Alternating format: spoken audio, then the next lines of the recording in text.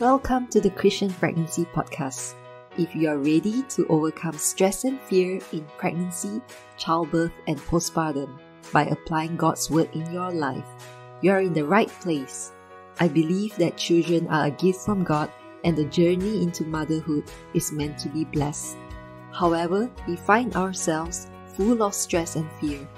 As mummies to be or new moms, you are a daughter of God, and Jesus has come that we may have abundant life. And this abundant life includes joy and peace through your motherhood journey. I believe as moms, we have the authority to claim this promise from God. I'm Gladys, a mom of two who has been through the struggles of being pregnant, staying pregnant, followed by a challenging childbirth and postpartum. But God was and is my strength and I am called to help you claim a pregnancy of purpose, a childbirth full of joy, and a motherhood of meaning. Put up your feet, grab your pickles or ice cream. It's time to dig into this journey with Jesus at the wheel. Hi, daughter of God. Welcome to the Christian Pregnancy Podcast. It's been a while since I had an episode on this podcast, and this is a really difficult episode for me to record because it has been a challenging past few months that I've been through. And the tendency when going through a difficult time, the tendency for me is to hide because sometimes as a child of God, I would be thinking, why do bad things happen to me? Did I do something wrong? Or did I not have enough faith? Did I not pray enough? Or even simply the question of why God? But then I realized that there's so much to be gained from going through hard times because everyone on earth goes through some rough patch at some point in their lives. I'm reminded of what Jesus said in John 16, verse 33, that in this world we will have trouble. But he continued on to say, to take heart because he has overcome the world. So I finally decided to record this podcast to testify of God's goodness, even in the midst of difficulties and trials and testings. But I would also like to share that despite the trials, there have been much blessing in my life too. So I'm now halfway through my pregnancy and waiting for my third child to be born this October and every day I'm so thankful to be able to be pregnant with my baby.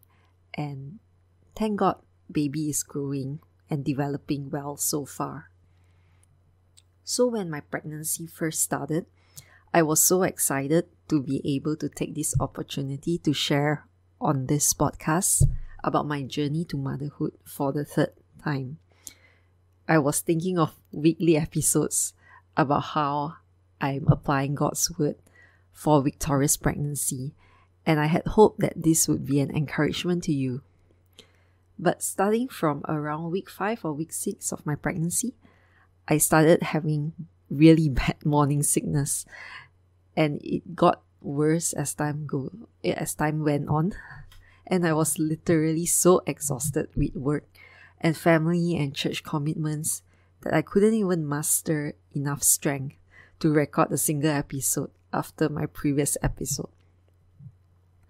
So, when I was going through the, the morning sickness that I had, I clinged on to what I knew about God and I did what I had done in previous pregnancies, which was to pray for healing for my body and to command the morning sickness to stop in Jesus' name. And I continued speaking life over my body speaking life for my body to adapt well to the changes so that I will have a wonderful and smooth pregnancy, just like I did the last time. And guess what? None of that actually happened. And I found myself battling nausea and vomiting, and even until now. And it really got me discouraged to the point of thinking, what have I done wrong or what am I doing wrong now? to have it in this pregnancy, but not in my previous one. And then the second trimester started, and in the past couple of months, I had been in and out of the hospital emergency or urgent care a few times, because I was experiencing bleeding on and off. And that also threw me off because just like the nausea, I had never experienced this before in my previous pregnancies. On top of that, I was facing some issues which had happened in my family and church, and it all it all just piled up. With all of that, I just felt the weight of discouragement. And I just wondered why this pregnancy isn't going as smooth as I hoped and prayed it would be. Especially since I'm running this podcast and want to be an encouragement to all you listeners that a victorious pregnancy with God is possible for us as His daughters. So that's why I hid and I kept silent. Now, looking back, I would choose not to be regretful over the past few months of silence, but instead to pick back up on where I had left off and continue sharing and encouraging, even through what I'm going through right now. And I realized that having a victorious pregnancy with God is not only about focusing on having everything going smooth sailing physically with no nausea, no bad symptoms, no discomfort, but rather a victorious pregnancy is about having God's presence with me, God's presence with you through the most difficult times. It's all about placing our hope and trust in God and not placing our hope and trust in having everything going smoothly or according to what I hope for. God is the only one who can anchor us through every season, whether good or bad. So, a couple of weeks ago, I was reading Habakkuk, and a familiar passage in Habakkuk was Habakkuk 3, verses 17 to 19, and it was such an encouragement to me. Let me read it for you in the NIV version. Though the fig tree does not bud, and there are no grapes on the vines, though the olive crop fails, and the fields produce no food. Though there are no sheep in the pen and no cattle in the stalls, yet I will rejoice in the Lord. I will be joyful in God my Saviour. The sovereign Lord is my strength. He makes my feet like the feet of a deer. He enables me to tread on the heights. Habakkuk 3 verses 17 to 19. So these verses talk about hope and expectations which are unmet. Things which you had hoped for to come to pass, but they just did not go as you had expected. Figs should bud and vines should have grapes, but there aren't any.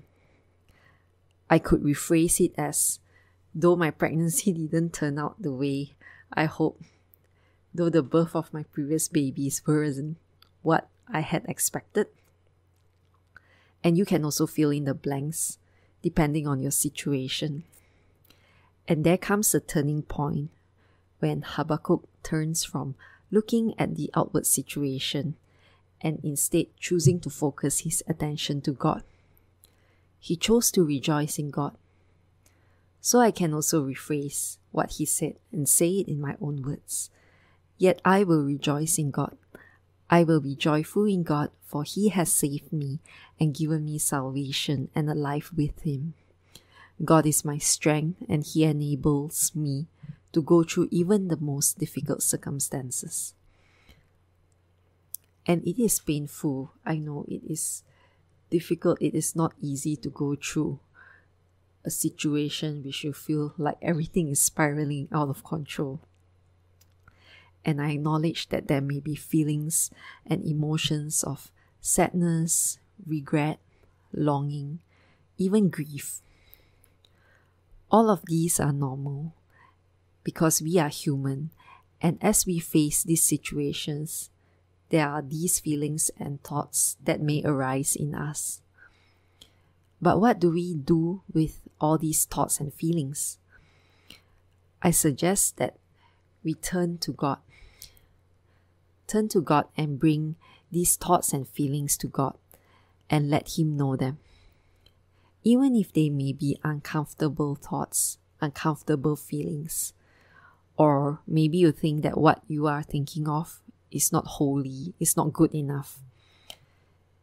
Because guess what? God already knows what you are thinking and what you are feeling. He's there with you and will help you walk through this difficult time. So that is how I'm finding hope in the midst of the challenges that I'm facing in my pregnancy. And I don't know what you're facing right now in your pregnancy or in your motherhood journey. And I'm sharing this as, as someone who is going through the, the trials and the difficulties. I'm not someone who has walked out of it yet. And I do not know all the answers. And I do not even know what is the outcome. But one thing I know is that God is with me and God is in control. And God is with you too. And He loves you and He cares for you. So would you go with Him? Go to Him today and tell Him how you feel. Tell Him how you feel about your situation and the thoughts that you have. What is your Habakkuk 3 verse 17 to 19 today. What mountains do you need God's help to tread on today? Tell Him that. Because what I found is that sometimes God may take us out of a difficult situation, but other times He will enable us to go through the situation. Just like what was described in Habakkuk verse 19, He enables my feet to be like the feet of a deer to tread on the heights. So he enables us to walk through even the most difficult and treacherous of situations. So I encourage you to go to him right now, even after this episode ends. Spend some time with him, the God who created you, the God who created your baby in your womb, the God who loves and cares for you so much more than you can ever imagine. He is here with you. Would you turn to Him today? Let's close in prayer. Dear God, thank you so much, Lord, that you are the God who is near to us. Thank you, Lord, that we can reach out to you anytime, Lord, and that you know our deepest fears, you know our deepest thoughts and feelings and we can come and be honest and open with you no matter what we are going through. So, Lord, would you help help us in our situations that we are facing which are challenging, whether in pregnancy or motherhood or even in life. Thank you, Lord, that you are with us and you will never leave us nor forsake us. Help us to keep our eyes on you always. In Jesus' name, Amen. If this podcast has blessed you, helped you, or challenged you, please share it with another mom to be or mom and leave a written review on Apple Podcasts. This helps inspire a generation of kingdom mothers and future world changers. Also, come join the Christian Pregnancy Facebook group at bit.ly slash Christian Pregnancy Group. That is bit.ly slash Christian Pregnancy Group. See you in the next episode.